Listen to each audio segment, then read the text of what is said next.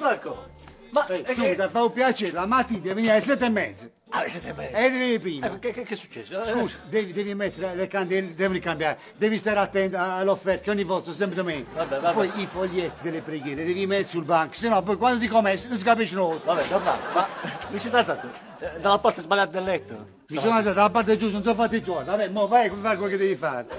Ma che vuoi, stiamo giù, ma se crepi ce la do. Quando è vero, quando è vero. solo questa preghiera, Santa Maria, piena di grazia, abbiamo tanto bisogno di te, per chi ha perduto la casa e l'amore. Buongiorno, buongiorno.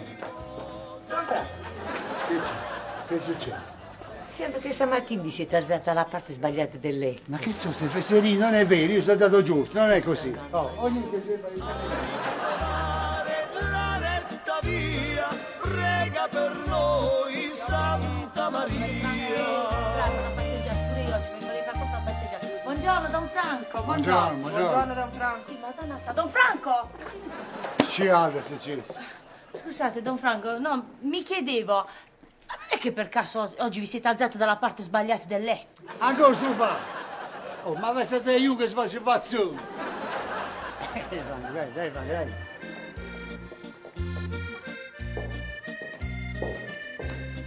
Oh, buongiorno Don Franco. Buongiorno, buongiorno. Eh, Don Franco? Chiedo scusa, eh, niente, mi chiedevo... La risposta è no. Non mi sono alzato dalla parte sbagliata del letto, anzi sono di ottimo umore, solo che vado di fretta perché ho appuntamento con il cardinale. Ma non è che voglio farle perdere tempo, Don Franco, e del letto non mi interessa nulla. E dicevo, mi chiedevo perché portate ai piedi le scarpe della madre superiore? Perché in democrazia ognuno veste come crede. Che figura di merda.